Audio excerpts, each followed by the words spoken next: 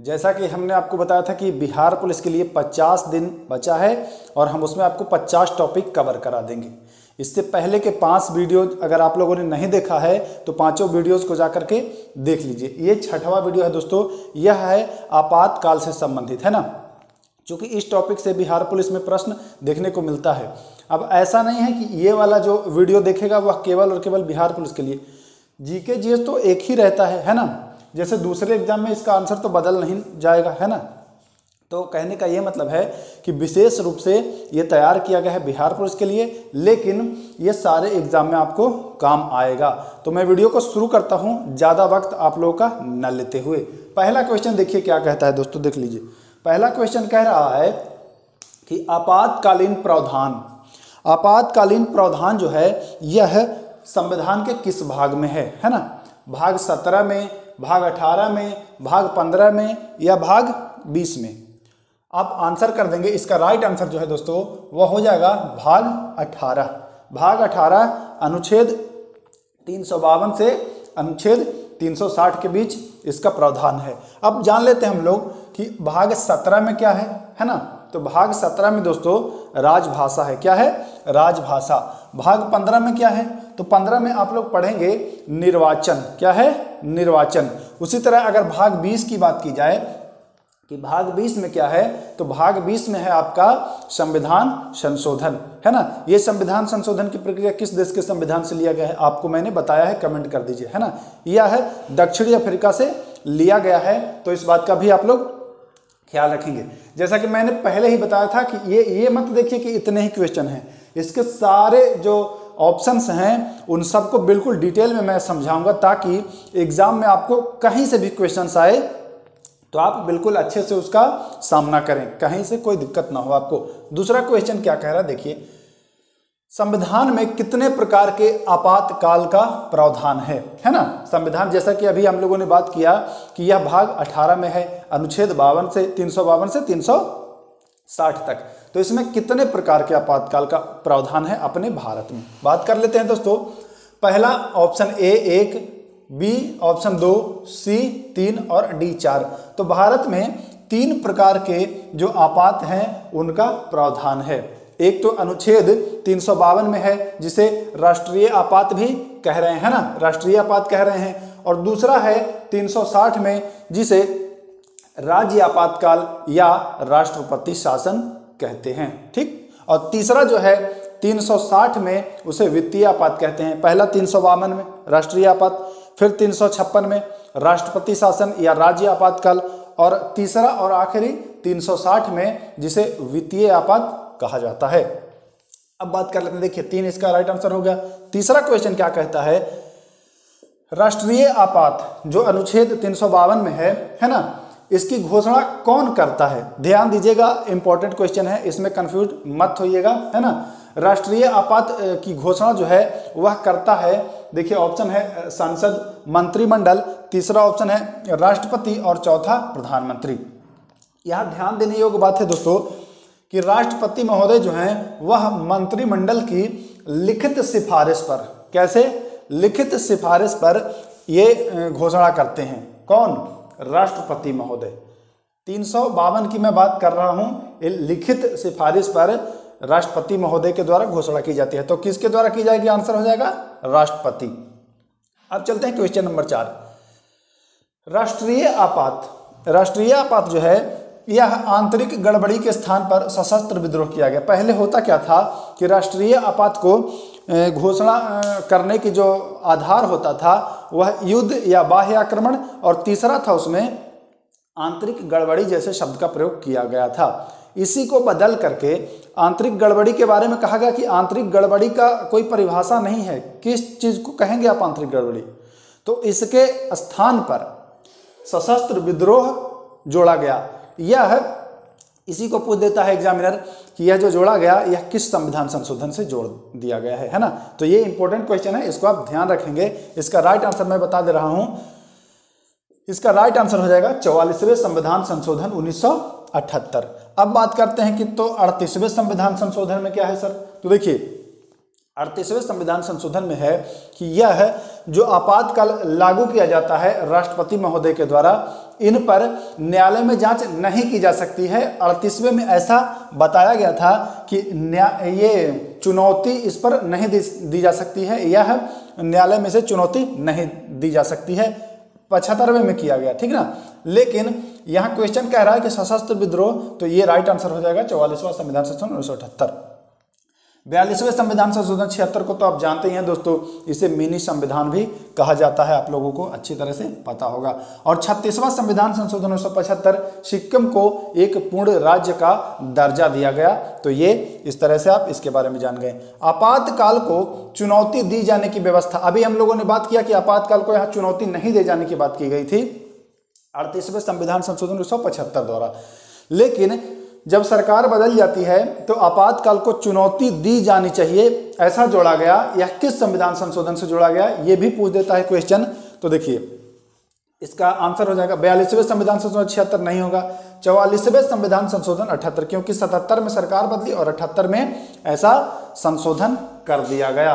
तो इस तरह से इसका भी राइट आंसर हो जाएगा, चौवालीसवें संविधान संशोधन 1978 और देखिए, बयालीसवा के बारे में अभी हम लोगों ने चर्चा किया अड़तीसवा के बारे में भी चर्चा किया छियासीवा के बारे में जान लीजिए कि छः से चौदह वर्ष की आयु को निःशुल्क शिक्षा का प्रावधान किया गया है। तो ये छियासीवा संविधान संशोधन 2002 से संबंधित है।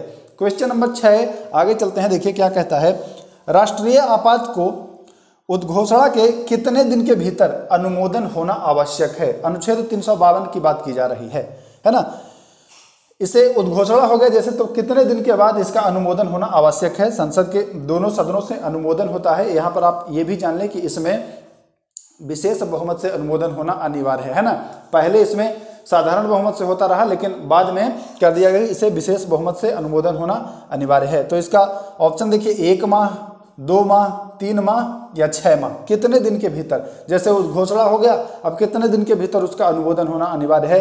देखिए, इसमें बहुत लोग फंसते हैं। कोई दो माह लगाएगा, कोई छः माह, कोई तीन माह और कोई एक माह। सही तो एक ही व्यक्ति का होगा। तो राइट आंसर इसका क्या हो जाएगा? इसका राइट आंसर जो हो जाएगा, वह एक माह हो जाएगा। बिल्कुल कंफ्यूज नहीं होना है। तीन सौ बावन की बात की जाए तो एक माह होगा राइट आंसर ठीक? अब चलते हैं आगे। राष्ट्रीय आपात की उद्घोषणा विशेष बहुमत से होना चाहिए। है ना? अभी हम लोगों ने चर्चा किया, विशेष बहुमत से पहले साधारण बहुमत से होता रहा, लेकिन बाद में जोड़ दिया गया कि विशेष बहुमत से होना चाहिए। वह किस संविधान संशोधन से? तो चौवालीसवें संविधान संशोधन उन्नीस सौ अठहत्तर से। उम्मीद करते हैं यहाँ तक की जो बातें मैंने बताई है आपको, वह अच्छे से बिल्कुल समझ में आ गया होगा। अगर इससे पहले वाला वीडियो नहीं देखे हैं दोस्तों, अगर देखिए, वाकई में चाह रहे हैं कि बिहार पुलिस की तैयारी आप ढंग से करें और नौकरी पक्का लें तो सारे वीडियोस को देख लीजिएगा। मैं 50 दिन में 50 टॉपिक आपको कवर कराऊँगा और मैं ये मान के चलूँगा कि मेरे द्वारा दिए गए 50 टॉपिक से लगभग 50 क्वेश्चन आप आसानी से कर लें, है ना, इन 50 दिनों में। क्योंकि मैं जिस भी टॉपिक को आपको पढ़ा रहा हूँ तो पूरी डिटेल में पढ़ा रहा हूँ, उसमें कोई भी क्वेश्चन छूटने की गुंजाइश न के बराबर हो रही है। तो बिल्कुल अगर आप अच्छे से ध्यान से पढ़ेंगे तो उम्मीद है कि इससे एक भी क्वेश्चन छूटने वाला नहीं है। बिहार पुलिस क्या, बिहार सब इंस्पेक्टर में भी आप आसानी से कर ले जाएँगे राष्ट्रीय आपात जिस भी टॉपिक को पढ़ा रहे हैं, उससे सारे क्वेश्चन आपको इसी वीडियो से देखने को मिलता रहेगा। अब चलते हैं अगला क्वेश्चन राष्ट्रीय आपात किस वर्ष नहीं लगाया गया? एग्ज़ाम में बिल्कुल हुआ हुआ ऐसे ही पूछ देता है। लैंग्वेज भी यही रहता है ना। तो ऑप्शन दे आपके सामने उन्नीस सौ बासठ, उन्नीस सौ पैंसठ, उन्नीस सौ इकहत्तर और उन्नीस सौ पचहत्तर, है ना? आप जानते हैं कि उन्नीस सौ बासठ में लगाया गया था, उन्नीस सौ पैंसठ में नहीं लगाया गया था, फिर उन्नीस सौ इकहत्तर में लगाया गया और उन्नीस सौ पचहत्तर में लगाया गया, है ना? भारत, चीन युद्ध के समय, भारत, पाकिस्तान युद्ध के समय और ये वाला जो लगा था, आंतरिक गड़बड़ी के आधार पर लगा था, यही लगा था आंतरिक गड़बड़ी के आधार पर, है ना? उन्नीस सौ पैंसठ में नहीं लगा इसका कारण क्या था कि उन्नीस सौ बासठ से जो चल रहा था, वह उन्नीस सौ अड़सठ तक चला। उन्नीस सौ बासठ से जो चल रहा था, वह उन्नीस सौ अड़सठ तक चला तो इसमें नहीं लगाया गया। और उन्नीस सौ इकहत्तर और पचहत्तर से जो चल रहा था, वो 1977 तक चला। वापस अगर लेने की बात की जाए कि ये वापस कब लिया गया तो 1977 आप बताएँगे, है ना? और ये वापस कब लिया गया तो उन्नीस उन्नीस में ये वापस ले लिया गया। कहीं से कोई दिक्कत नहीं है। इससे आप चलते हैं अब अगला क्वेश्चन राष्ट्रपति शासन लगाया जा सकता है। वेरी वेरी इंपॉर्टेंट क्वेश्चन है। इसमें 90 परसेंट लोग गलती कर बैठेंगे। बिल्कुल गलती कर बैठेंगे। आप क्वेश्चन को ठीक से पढ़िएगा। राष्ट्रपति शासन लगाया जा सकता है। आधार दे दिया गया है क्या? क्या अनुच्छेद तीन सौ बावन के आधार पर लगाया जा सकता है? तीन में तो राष्ट्रीय आपात है। राष्ट्रपति शासन की बात की जा रही है तो ये तो नहीं होगा। तीन सौ छप्पन तो आप लोग पढ़े हैं कि राष्ट्रपति शासन तो ये तो होगा ही। अभी रुकिए। और 360 यहाँ तो आपने वित्तीय आपात पढ़ा तो ये तो होगा नहीं। लेकिन तीन ये होगा। इस आधार पर भी लगाया जाता है राष्ट्रपति शासन। आप लोग नहीं जानते होंगे तो आज जान लीजिए। इसका आधार क्या होता है कि जब केंद्र सरकार द्वारा कोई निर्देश दिया गया, उस निर्देश को राज्य सरकार पालन नहीं कर रही है तो ऐसे में ऐसे में केंद्र सरकार के द्वारा तीन सौ पैंसठ अनुच्छेद का प्रयोग करके और राष्ट्रपति शासन राज्य में लगाई जाती है तो इसका राइट आंसर जो हो जाएगा वह बी और डी है ना? ध्यान दीजिएगा दोस्तों वेरी वेरी इंपॉर्टेंट क्वेश्चन है। ऐसे क्वेश्चन आपको अमूमन देखने को नहीं मिलेंगे, लेकिन मैंने वादा किया है कि आपको पढ़ाएँगे तो पूरी डिटेल में पढ़ाएँगे। ऐसा नहीं कि आधा पढ़ा करके हम छोड़ दिए, है ना? जब आप हमारे साथ जुड़े हैं तो मैं पूरी अच्छी गुणवत्ता की जो शिक्षा है वह देने की कोशिश करूँगा। चलते हैं अगले क्वेश्चन पर। राष्ट्रपति शासन एक बार अनुमोदन के पश्चात प्रभावी रहता है। क्वेश्चन को समझिएगा, ठीक से समझिएगा आंसर आप खुद ब खुद दे देंगे। कह रहा है कि राष्ट्रपति शासन एक बार अनुमोदन अगर हो गया तो उसके पश्चात यानी उसके बाद कितने दिन तक प्रभावी रहता है? ऑप्शन दे रहा है आपके सामने छह माह, एक वर्ष, तीन वर्ष या अनिश्चित काल तक। तो यहाँ पर ध्यान देने की बात है, एक बार अनुमोदन अगर राष्ट्रपति शासन का होता है तो उसे छह महीने तक आप रख सकते हैं। छह महीने के बाद फिर अनुमोदन करके छह महीना बढ़ाइए। ऐसे करते करते करते करते आप तीन साल तक मैक्सिमम बढ़ा सकते हैं। कितने साल तक? तीन साल तक। और अगर उससे भी ज़्यादा करना हो, है ना? जैसे किसी राज्य में तीन साल से ज़्यादा रहा है, आप कमेंट करिए कि किस राज्य में रहा है, कमेंट करिए। आप लोगों को पता होगा। तो मैक्सिमम जो है अनुमोदन के बाद, अनुमोदन के बाद कितने दिन तक रहेगा? तो छः महीने इसका राइट आंसर हो जाएगा। अगला क्वेश्चन ले लेते हैं। राष्ट्रपति शासन की अधिकतम आयु हो सकती है। देखिए आ गया ना वो क्वेश्चन अभी हम लोग डिस्कस किए थे। अधिकतम इसको तीन वर्ष तक आप बढ़ा सकते हैं। कितने वर्ष तक? तीन वर्ष तक बढ़ा सकते हैं। अगर ऐसे क्वेश्चन है तो तीन वर्ष तक। लेकिन संसद जो है, वह कानून बनाकर, संशोधन कर कर उसे तीन वर्ष से अधिक समय के लिए, अनिश्चित काल तो नहीं कह सकते हैं, लेकिन तीन वर्ष से अधिक समय के लिए उसको किया जा सकता है। कब? जब उस पर अलग से कानून बने। अनुमोदन करके तीन वर्ष तक, अधिक से अधिक छः महीने छः महीने छः महीने करके तीन वर्ष तक। लेकिन अगर कानून बनाती है तो ऐसे हालत में फिर तीन वर्ष से ज़्यादा किया जा सकता है। अगला क्वेश्चन ले लेते हैं। एक क्वेश्चन और यहाँ पर ले लेते हैं।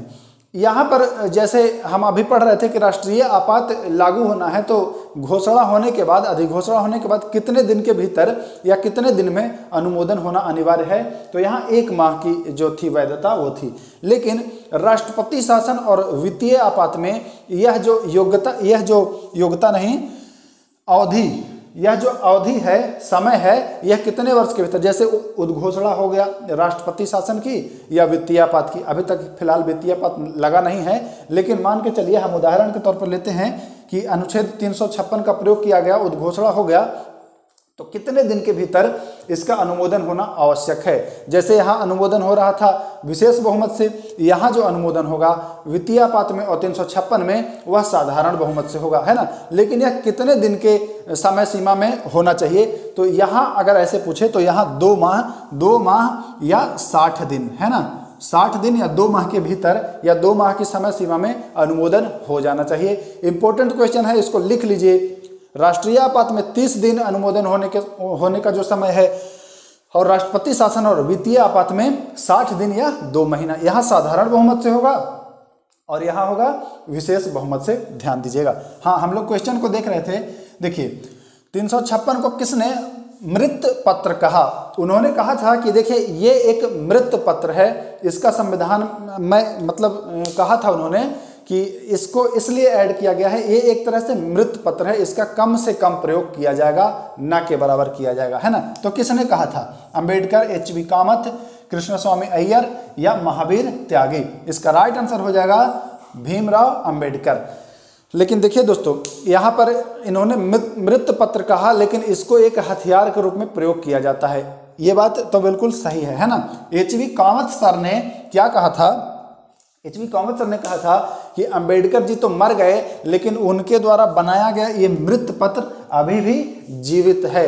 कहने का मतलब है कि इसका इतनी बार, लगभग सवा सौ से ज़्यादा बार अभी भारत में राष्ट्रपति शासन का प्रयोग हो चुका है। दोस्तों, आपको ये जान के हैरानी होगी कि जिसे भीमराव अंबेडकर जी ने मृत पत्र कहा था, उसका प्रयोग लगभग सवा सौ बार से ज़्यादा बार हो चुका है अपने भारत में, है ना? एच वी कामत सर ने ये कहा। कृष्णा स्वामी अय्यर सर ने कहा कि ये जो पूरी आपातकाल का प्रोसेस है है ना? पूरे आपातकाल की मैं बात कर रहा हूँ, यह है संविधान का जीवन साथी है। तो अगर कभी परीक्षा में पूछ दे कि आपातकाल को किसने संविधान का जीवन साथी कहा तो आप जो है आंसर करेंगे कृष्ण स्वामी अय्यर, है ना?